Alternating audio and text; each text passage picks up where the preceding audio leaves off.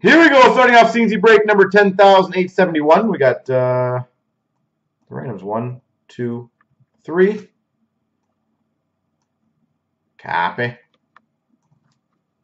Paste. One, two, three. Copy. Let's see who ends up.